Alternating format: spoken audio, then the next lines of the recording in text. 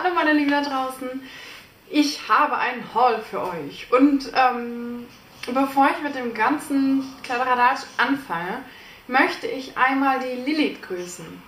Das war gerade mega witzig. Äh, ich war bei uns beim Kaufland einkaufen und ich habe sie irgendwie, sie ist mir aufgefallen, weil sie, also sie ist rausgegangen, ich bin reingegangen.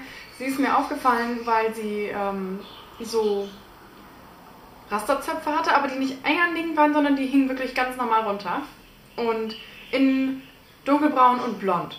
Total auffällig und total cool eigentlich. Also ich fand, es stand ihr sehr, sehr gut. Ja, und sie ist mir aufgefallen, so, und ich dann beim, bei den Bananen einpacken, abwiegen, bla.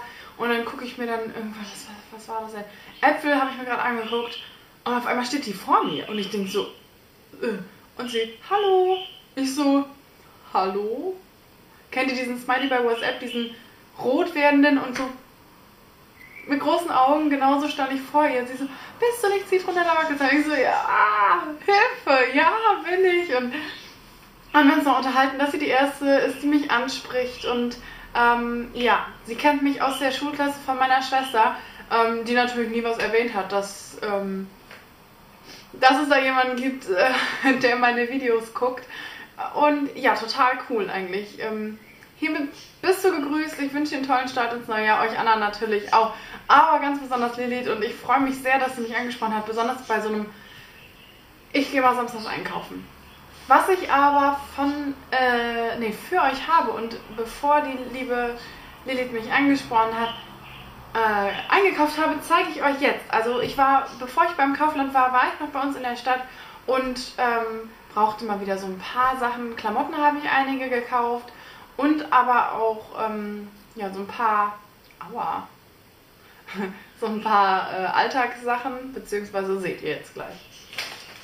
Ähm, genau, ich war bei uns im Teddy und zwar habe ich bei Instagram letztens gepostet, dass ich Bilderrahmen Gold gestrichen habe. Das sind so kleine solche von äh, Ikea. Die wollte ich aufhängen. Ich habe aber nur so mega lange Stahlnägel und ich dachte so, das sieht ein bisschen doof aus, wenn das Bild so weit von der Wand entfernt äh, hängt. Ja, hängt heißt das. Und dann habe ich mir so unterschiedliche Größen bei Teddy gekauft. Ein, also das sind 80 Stück in vier Größen und die haben 1 Euro gekostet. Da. Und ähm, ja, genau die oder die hier oben habe ich halt zu Hause. Und, äh, oder jetzt hier. Und ja gut, mein Gott, du kannst nicht aussortieren, um Euro und gut ist, ne? Und damit hänge ich die dann nachher auf. So. Und dreimal habe ich mir so kleine Einweggläser geholt. So sehen die aus. Die haben so, also Tick, Trick und Track habe ich direkt gedacht. Also blau, orange und grün.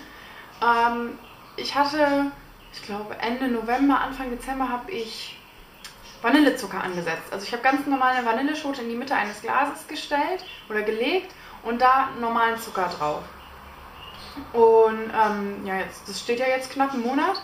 Ich habe meiner Mama schon was zu Nikolaus abgepackt, dass sie sagte, oh, dass, das, äh, also, dass das Aroma schon total aufgenommen wurde. Ich denke, jetzt ist es noch ähm, extremer bzw. intensiver. Und die wollte ich hier halt abfüllen. Ich habe noch ungefähr den, den Rest, den ich jetzt da in dem Glas noch habe, passt wahrscheinlich hier rein und das kann man ja immer verschenken. Also Zucker wird nicht schlecht und ähm, ja, perfekt. Die haben jeweils 75 Cent gekostet. So. Und dann war ich beim H&M und habe mir als allererstes für 15 Euro richtig süßes Oberteil geholt. So sieht das aus. Und ich glaube, das ist voll meins. Ich glaube das total. Ähm, leider gab es das nicht mehr in L. Ach doch, was war das denn? Dann habe ich sie wieder weggepackt. Weiß ich nicht mehr. Nee, nee, nee, das war bei C&A. Kommt gleich noch. Ja doch, also ist auf jeden Fall 42, sollte sehr, sehr gut passen. Und ähm, ja, dieser Stoff ist total cool. Also da ist Baumwolle auf jeden Fall mit drin, ansonsten hätte ich es nicht gekauft. Mm. Aber wartet mal eben. Bla bla bla. Da ist hundertprozentig Baumwolle drin. Nein, nicht. Das ist so viskos, viskose? Vis, viskos? Keine Ahnung. Halt dieser Stoff, der ähm, kühlt, finde ich sehr. Und, ähm, aber dieses Muster ist so, ja, schön. Ich finde das ein bisschen osteuropäisch. So Polen, Rumänien, ich weiß nicht warum. Aber ich finde es toll, weil ich werde ganz häufig für eine Polin gehalten. Und ja, das unterstützt dann einfach nochmal.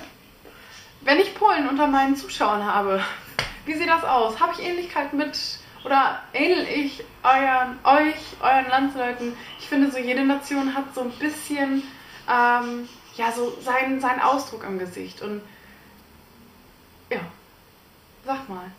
Ich habe keine Ahnung. Ja, dann habe ich natürlich, wie soll es auch anders sein, wieder was für den Sport gekauft. Ich finde, neue Sportklamotten motivieren ungemein. Und ähm, ich habe schon eine, eine Sporthose, das ist eine Laufhose, die ziehe ich aber trotzdem an, wenn es ein bisschen zu kalt ist. Also jetzt zum Beispiel ähm, auch im Fitnessstudio. Ähm, die habe ich daher. Das ist die mit den, ähm, wie heißt denn das? Mit den orangen Streifen und dem Reißverschluss hinten. Den mache ich natürlich nie auf, weil ich bin zwar ein 90er Kind, aber Backstreet Boys und hohe Plateauschuhe sind vorbei. Ja, die habe ich daher und ähm, einen, den, der ist aber schon älter, einen grünen Sport BH und das ein hellblaues Sportoberteil. So, wo wir dann bei Oberteil sind, habe ich für 9,99 Euro hm, dieses Türkise, das ist in echt viel grüner, halt auch nicht. Das habe ich mit ähm, so einem orangen, mit einer orangen Naht hier hinten, auch wieder mit diesem Sportausschnitt, habe ich mir zugelegt. Ich bin mal gespannt, also was ich bei diesen Stoffen halt doof finde, ist, wenn man noch nicht so gut trainiert ist, ähm, dann zeichnen sich da so ein paar Speckröllchen ab, wenn die Hose ein bisschen enger sitzt. Ja, und das muss ich mal ausprobieren. Ansonsten nehme ich es fürs Homeworkout, bis ich dann so weit bin. Ja, 9,99 Euro. Und jetzt kommt aber irgendwie mein gefühltes Highlight. Warum auch immer. Nein, ich weiß warum, aber das ähm, wisst ihr dann wahrscheinlich auch. Ich krempel das mal eben so um, dass ihr ähm, auch den richtigen Eindruck habt. Ich habe so ein bisschen das Gefühl, dass, es mir, dass er mir zu groß ist. Es ist L, ja, ich weiß, bla, und du trägst 42. Ähm, es ist aber ein Sport-BH und so sieht der aus. Und ähm, der ist, ich finde, vom Bund hier unten sehr, sehr weit und ich bin relativ schmal hier oben um die Taille, beziehungsweise um die Brust, ähm, also Brust unten unter um, Umfang, was weiß ich, wie man das nennt. Äh, mal sehen. Äh, weil ich möchte nicht, dass es rutscht, weil ich bin ja auch häufiger mal auf dem Stepper und ähm, naja, wenn das dann aussieht, als würde ich gar keinen BH tragen, ähm, sorry, nee, aber dann bringe ich den lieber zurück. Ich probiere den mal hier zu Hause an und ansonsten bringe ich den zurück und hole mir M weil man macht ja nicht Sport, um zuzunehmen. Also ich nicht, natürlich, einige schon, klar. Ähm,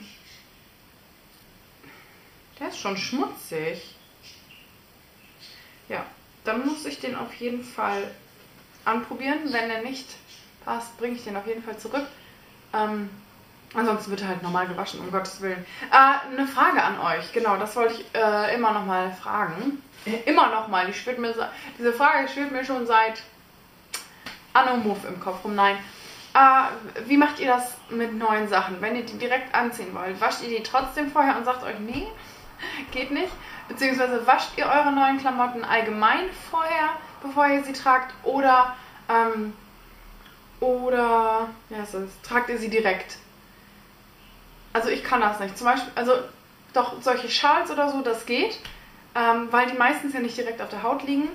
Ähm, aber Hosen, Oberteile, Socken, Unterwäsche auch gar auf jeden Fall. Also alles. Ich, ich wasche, glaube ich, alles. Wirklich. Ja. Ich kann das, glaube ich, nicht haben. Nee, ich kann das nicht haben. Außer so, so Schals oder Tücher oder so, mein Gott, wenn, wenn das dann einmal so ist, ist es auch grenzwertig, weil ich finde, man riecht diese Chemie da drin immer. Äh, aber gut, wenn das dann einmal ist, ist es in Ordnung. Nur, ich fühle mich total unwohl. Das kann ich euch sagen. So schön das Kleidungsstück auch sein kann, ähm, für mich ist das dann irgendwie komisch. Es ist dann nicht meins. Ja, genug rumgeheult. Ich habe dann natürlich noch was für euch. Ich war auch bei C&A und die haben noch Weihnachtstüten. Das ist ja schrecklich. Ähm und da, genau, hier hatte ich das nämlich, dass das Oberteil, das gab es nur noch in M. Ich weiß ja nicht. Gerade motzt sie noch, ne, dass sie den Sport-BH nicht in M gekauft hat. Ja, egal. Ähm, das ist diese Bluse. Und die hat total das schöne Muster. So sieht das aus. Ich finde das mega edel. Aber wenn ich mir das. Hm, kann knapp werden. Aber ich finde, äh, auch das könnte mir ganz gut stehen. Probiere ich natürlich alles nachher an. Äh, hat gekostet, ist von 15 Euro auf 9 Euro reduziert worden. Läuft. Und dann gab es noch ein reduziertes Teil, das ist von, auch von 15 auf 9 Euro reduziert worden. Ist etwas dunkelblaues. Ich trage sehr selten dunkelblau, weil ich finde, das macht meine Lippen zu rot und mein Teint zu blass und meine Haare gelb. Toll, ne? Und warum kauft sie sich das jetzt? Ich weiß es nicht. Ich fand es mega schön. Und ähm, im Sommer, glaube ich, geht das auch. Wenn, wenn ich wieder Sommersprossen bekomme äh, und ich so ein bisschen mehr vom Porzellan, Tang weg bin, geht das, glaube ich. Das ist das Oberteil. Ähm, das ist bis, ja, mh, mm, bis Mitte der Schulterblätter ist das mit Spitze. Und hat so drei, ja nee, normale Ärmel ist hier unten. Seht ihr das? Da? Ähm, es hat da so ein Bund, was ich nicht so gut finde. Warum kauft sie sich das? Ja, ich muss es einfach mal angezogen sehen. Ähm, um ehrlich zu sein, ich hasse Klamotten anziehen im Laden. Deswegen bin ich so ein typischer Mensch von ach, nimmst du mal mit, guckst du, ob es passt und dann verschludert sie eh den Bon. Oder ähm, ich vertrödel die Zeit und dann kann ich es nicht mehr zurückbringen und dann kriegt es meine Schwester. Oder ich zwänge mich rein. Ja, und dann äh, gab es noch ein Holzfällerhemd. Weihnachten ist vorbei, aber hey. Ein Holzfällerhemd muss es sein. Hier, so sieht's aus. Ist mit dunkelblau, dunkelrot und dunkelgrün. So, und oh, das schluckt gerade mega den Weißabgleich, aber hey. Ja, macht mich super schön blass, aber ich finde das sehr schön. Mir steht nämlich dunkelrot sehr gut. Und ähm, das ist so ein richtiges Flanellhemd. Mit meinem Bizeps kann ich dann hacken gehen. Holzhacken. Ja, ach so, was das gekostet hat, das war glaube ich auch reduziert. Ja, wieder von 15 auf 9. Wisst ihr Bescheid? Ja, das war das von den Specials. Und jetzt kommen noch zwei Basic-Oberteile. Und zwar mit Organic Cotton. Ja, ist ja Bescheid. Äh, einmal ein weißes Basic-Oberteil. Ähm, was bei mir ganz wichtig ist, dass es ein bisschen Ausschnitt hat. Ich habe normal, proportional, normal für mich, sich, weiß ich nicht, für meine Größe proportional passende Brüste. meine Oberweite passt einfach zum Rest, was weiß ich. Ja, auf jeden Fall ähm, finde ich das ganz, ganz grausam, wenn man sich erstens nicht erklären kann, so wie es bei mir war, und wenn der Ausschnitt, also oder wenn, wenn der ja, Ausschnitt gar, wenn es den gar nicht gibt, weil dann ja, dann trägt das nochmal auf. Und ähm, ich fühle mich so unwohl. Also ich brauche immer, ich brauche immer irgendwie so ein bisschen was ähm, an Freiheit am Hals, ähm, was ich dann eben im Schal bedecke, aber hey. Äh, aber ich, ich weiß nicht, ich mag dieses Hochgeschlossene überhaupt gar nicht. So. Äh, das gab es in Weiß und natürlich einmal in Schwarz. Weil, seht ihr, schwarz steht mir, finde ich. Ganz gut, ich habe nicht viel schwarz im Kleiderschrank, aber ein zweites Basic-Oberteil in schwarz finde ich in Ordnung. Äh, ja, und das war's. Achso, die beiden Sachen haben äh, jeweils 7 Euro gekostet. Äh, ja, genau. Das war es jetzt wirklich. Ich gehe jetzt Wäsche waschen, werde den ähm, Vanillezucker umfüllen. Aber bevor ich waschen gehe, werde ich die anderen beiden Sachen nochmal auf jeden Fall anprobieren. Nicht, dass da irgendwie was schief geht. Und äh, dann lege ich mir das irgendwie in den Flur mit dem Bon drauf, damit ich das nicht vergesse. Ja, das war es von mir.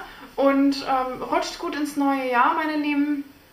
Und äh, ja, ansonsten, ich, ich sagte ja schon bei meinem letzten Video, was glaube ich nicht so gut ankam. Macht aber nichts, das sind ja Geschmäcker. Äh, dass das mein letztes Video dieses Jahr werden wird. Nein, dieses ist wahrscheinlich das letzte Video im, neuen, im, im alten Jahr. Kann ich, also gehe ich sehr, sehr stark von aus, weil ich glaube, da kommt nicht mehr viel. Erstens an Tagen und zweitens von mir. Gut, dann sage ich Adieu. Wir sehen uns im neuen Jahr wieder. Ansonsten, ähm, wir werden uns vor dem neuen Jahr auf jeden Fall nochmal bei Instagram sehen. Da poste ich ja täglich auch mal zwei, zwei Fotos. Ich versuche mich so auf ein Foto zu beschränken, damit, das, damit die Bilder nicht zu viel werden. Ich finde, wenn man zu viele Bilder hat, kann man sich, ähm, ja, es ist erschlagend, weil man postet ja doch häufig seine eigene, sein eigenes Antlitz. Ja, bis dann. Tschüss, meine Lieben.